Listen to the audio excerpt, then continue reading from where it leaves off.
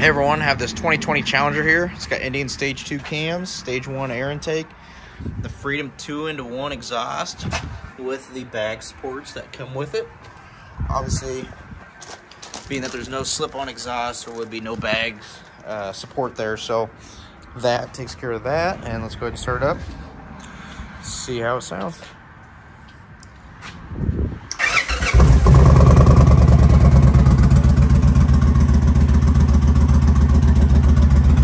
Bike has been running, so it's not uh, it's not cold. So obviously on a cold start, it's gonna be a little louder maybe.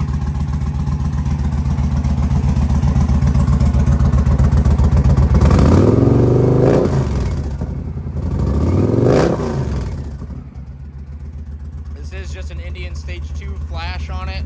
No aftermarket tuners are used at all on this bike. Um, I'm sure an aftermarket tuner might clean it up a little bit so it's not running so ridge. Seems to be running a tad rich, but um, could be fine as well. So.